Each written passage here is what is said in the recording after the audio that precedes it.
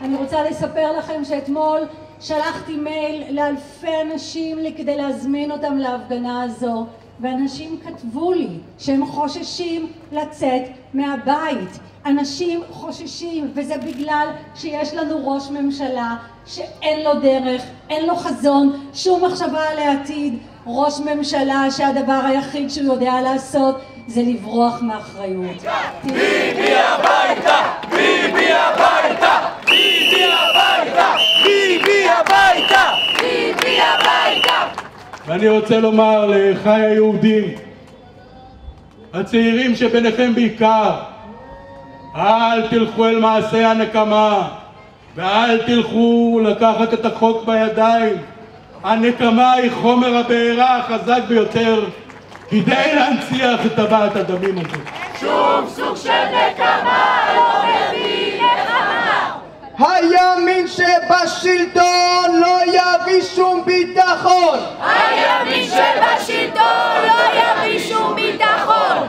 ולך תשב עם הבן אדם, עם אבו מאזן, וכאשר אתה אומר ללא תנאים מוקדמים ברור לגמרי שאתה מנסה לחרטט אותו כי כאשר אתה תדבר איתו ללא תנאים מוקדמים באופק ייבנו עוד דירות ויש צורך בדירות אבל לא במקום שאתם בונים אותם תפסיק את הבנייה לאלתר. תעשה פריזון בכל השטחים הכבושים. צריך אלטרנטיבה. וזה שם המשחק. ואני פונה לחבריי באמת חבריי מהמחנה הציוני. צריך אלטרנטיבה ולא לעקוף מימין. צריך אלטרנטיבה. אדוני ראש המחנה הציוני סגר זאת לא אלטרנטיבה.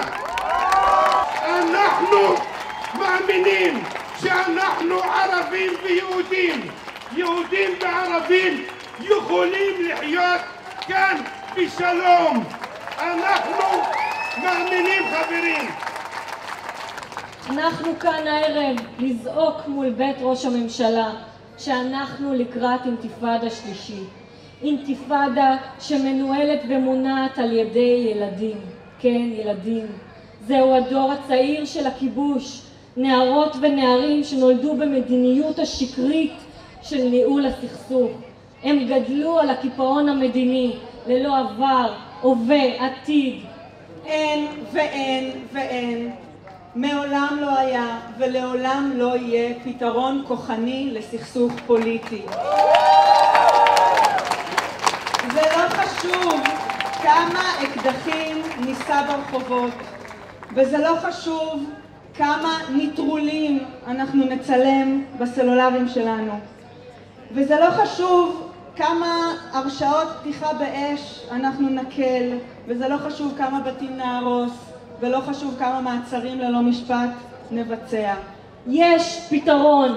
שולחן המשא ומתן עומד יתום כבר שנים, בלי יוזמה מדינית, בלי חזון, בלי עתיד ובעיקר ללא פתרון אמיתי, ללא פתרון שיאפשר לנו בישראל ובפלסטין לחיות בשלום ובשכנות טובה. ביבי, נמאס לך! הביתה! ביבי,